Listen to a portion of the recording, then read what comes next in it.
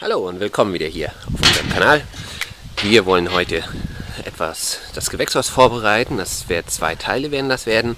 Und den ersten Teil, den machen wir jetzt einmal mit euch. Wir wollen soweit alles wir wollen soweit alles winterfest machen und wenn wir einmal reinschauen, dann sehen wir schon, dass die Tomaten noch im Gewächshaus sind. Hinten sind noch Gurken, die allerdings nicht mehr Früchte dran haben. Einige Tomaten, die sind noch am Blühen. Aber das Klima, das Klima, das ist einfach zu kühl jetzt hier. Wir werden sämtliche, wir werden jetzt sämtliche Tomaten rausreißen und die, den ganzen Bewuchs rausnehmen. Und im zweiten Teil werden wir dann Kompost einbringen und gucken, dass wir das fürs nächste Jahr soweit vorbereiten. Wenn ihr Lust habt, bleibt einfach dran. Ich würde sagen, wir legen einfach los. Dann nehmen wir mal als erstes sämtliche Tomaten ab. Hier haben wir noch eine kleine Rot, die können wir direkt essen.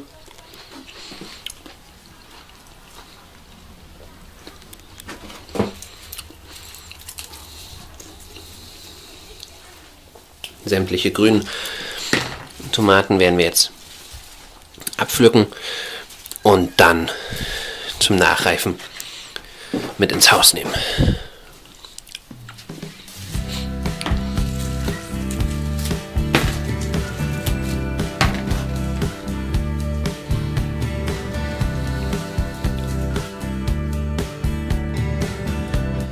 Von den einzelnen Tomaten haben wir uns schon genommen, um die nächstes Jahr wieder zu vermehren. Aber wir werden auch einige neue Sorten ausprobieren. Unter anderem von einem, einem anderen Gartenkanal sehr schön hervorgehoben und die mich echt begeistert haben und die mich beeindruckt haben, ist das Ochsenherz. Diese großen Tomaten, die möchten wir nächstes Jahr auf alle Fälle auch probieren anzupflanzen da werden wir uns dann äh, zu gegebener Zeit auch noch Samen besorgen. Und vielleicht habt ihr ja die eine oder andere Bezugsquelle, dann schreibt sie uns auch unten in die Kommentare rein, dass wir da schöne samenfeste Samen uns besorgen können. Ja, richtig schöne große Tomaten an sich, aber es fehlt da einfach dieses Jahr irgendwie die Sonne und äh, die sind bei uns nicht richtig geworden. Wir haben eine ganze Menge geerntet. Das, was jetzt hier noch wächst, das schafft es einfach nicht mehr reif zu werden und deswegen werden wir die zum Nachreifen äh, ins Haus nehmen. Bin gespannt, wie der Geschmack dann ist. Ich denke nicht so wie im Hochsommer, dass die echt von der Geschmacksintensität so lecker waren äh, oder werden dann, wie sie einmal waren. Aber da lasse ich mich überraschen.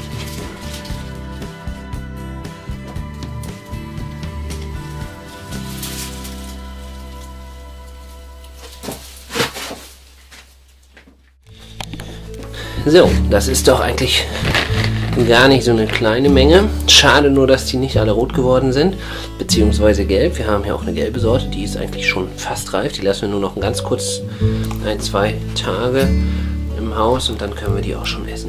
Jetzt geht es dann daran, die Pflanzen auszureißen. Hat ein schönes Musterwerk und eigentlich eine schöne Pflanze, aber die Zeit ist um. Leider wird das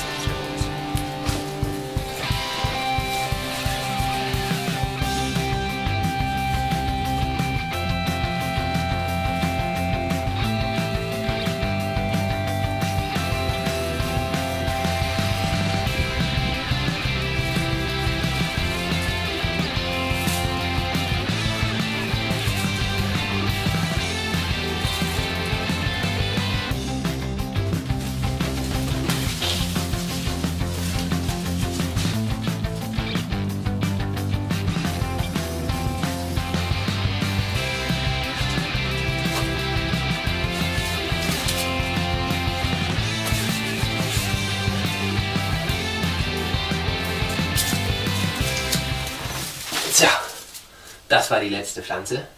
Und äh, ich zeige euch gleich mal das leere Gewächshaus. Das sind unsere verbleibenden letzten zwei Gurkenpflänzchen. Gurke war dies Jahr nicht so besonders.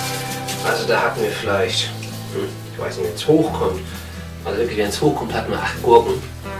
Und äh, das war nicht so berauschend dieses Jahr. Da müssen wir uns was anderes einfallen lassen nächstes Jahr. Ich denke, ich werde die Gurken und Tomaten trennen aus dem Gewächshaus. Ich werde mir da nichts anderes einfallen lassen. Vielleicht ein zweites Gewächshaus nur für Tomaten oder oder ein Tomatenhaus und äh, im Gewächshaus dann äh, ja, Gurkenpflanzen beziehungsweise vielleicht auch Peperoni, Paprika mit reinsetzen. Das weiß ich noch nicht ganz genau, da muss ich mal, mir noch Gedanken machen, wie wir das machen. Weil, wie gesagt, so rauschend war die Ernte hier nicht und äh, lag teilweise daran, dass wir ja, die, die Spinne drin hatten. Da haben wir auch ein Video gemacht. Ich verlinke euch das mal hier oben in der Infobox.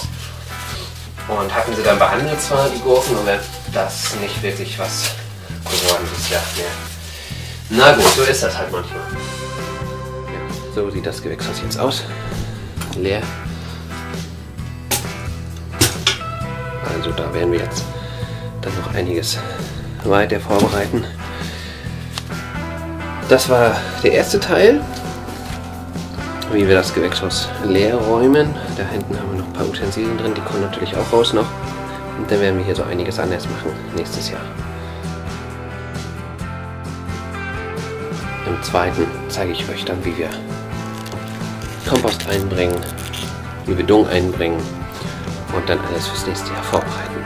Wie gewohnt, wenn es euch gefallen hat, kostenlos abonnieren nicht vergessen, schreibt uns was in die Kommentare empfehlt uns weiter, schreibt uns Anregungen, Tipps, Rat, wie wir weitermachen sollen.